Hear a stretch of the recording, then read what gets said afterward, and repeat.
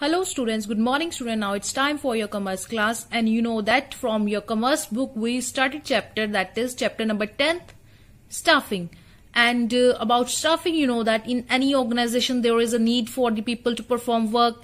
The staffing function of management fulfills the requirement and find the right people for the right job.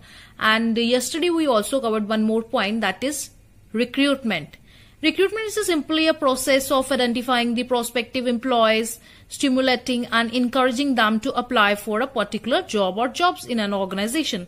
It is type of positive action. Okay. And you know that selection, it is negative action. So today my topic is selection. So see students, topic selection. Now what are the learning objectives? Meaning of selection, importance, procedure of selection. So before starting, see key terms. So student, what are the objectives of selection process? Number one is the objective of selection process is to get the best applicant available who meets all the selection criteria and advertisements is placed and application received are screened and top best candidates application are chosen through an initial screening for interview. So these this one is the main objective reason why selection process required when you are selecting when you are screening the candidates and selecting the best one for your company. So before starting, see key terms. Number one key term is development. It is a process by which capacity of manager are improved to take up more difficult and challenging task means uh, simply when the manager develop improve the skills to do more difficult task.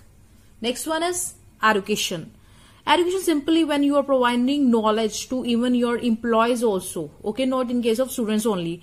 It refers to improvement of knowledge general knowledge and developing an overall understanding of the total environment. It is an enlightening process. Next one is manpower planning. Manpower planning means when you decide in your company how many man's manpower, how many employees required. It, it is considered as manpower planning. It is the process by which management determines how an organization should move from its current manpower position to its desired manpower position. Means when you decided to move from your current manpower position to desire where you want to go how much employees required and how much employees in your organization already working. And when you are planning for future regarding the manpower is considered as manpower planning. Its main objective is to obtain the right people at the right time. Next one is placement. The process of assigning a specific job to new employees is termed as placement. When you assign the job to new employees. Placing the right person at a right job is the main purpose of placement. So these are the key terms. Now I'm going to discuss with you one company selection procedure that is HUL. Selection procedure at Hindustan Unilever Limited. Hindustan Unilever Limited adopts a systematic and integrated selection process to select the best possible candidates. The selection of candidate is made mostly through the campus recruitment. Through, in some cases, posts are advertised. Various steps are selected selection process followed by HUL are as follow. So which so here the main point is main campus recruitment and with the help of post are advertised means two sources here two recruitment methods they are using. Number one is campus recruitment number two is advertisement. Various steps of selection process followed by HUL are as follows. Number one step screening means examining. So firstly they check out uh, with the criteria set if your post, post criteria is BTech required. But 10 candidates applied and they are having degree of BCom. So in this way they match up, examine. So if according to post BTech required, then they are not, not matched with the eligible criteria. So they reject they reject the applications of those candidates. So see, at the first step, there is a screening of application as HUL receive large number of applications. The applications are screened on the basis of eligible criteria fixed by the company. The initial application form is quite brief. Those who are selected at this stage are required to fill detailed application form which seeks factual information about the candidates along with their personality features and attitude. Second one is preliminary interview. So a preliminary interview is held for all those candidates who are selected at the screening stage. This interview is conducted by a single interview. Generally, three, four interview sessions are held simultaneously. So, three, four interviews held simultaneously. The basic objective of preliminary interview is to assess whether the candidates are suitable prima facie. So, what is the meaning of here, students, prima facie? It is simply a based on what appeared to be true at first. Okay, what they are depositing true at first. At this stage, information about the company is given to the candidates. Okay. In third stage, group do group discussions. Okay. Group discussion is conducted for those candidates who are found acceptable at the preliminary stage. So, if they are acceptable at preliminary stage, then only group discussion and after group discussion a final interview is conducted by a panel of interviewers consisting of three four very senior managers. The final interview is detailed one. So this one detailed interview. Fifth stage after the completion of the above steps candidates are selected provisionally subject to their medical fitness. And fifth level medical fitness. And sixth medical examination is conducted of all those candidates who are selected provisionally. Those who are found medically fit are selected finally. Okay.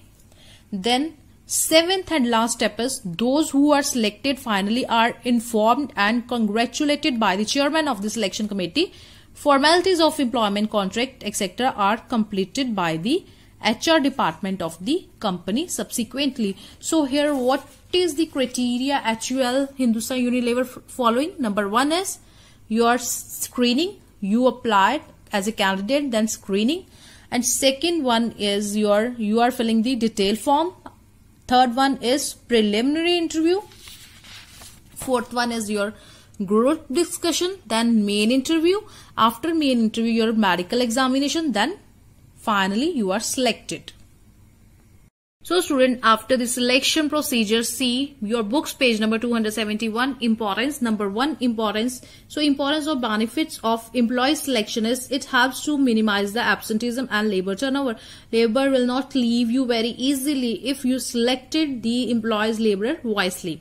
It promotes the job satisfaction of employees by putting the right person at right place. If you putting the right person at right place, then employee feels satisfaction okay? It helps to achieve the higher quality and quantity of performance because right person at right place working. It helps to improve the overall efficiency and profitability of the organization by placing the right person in the right job.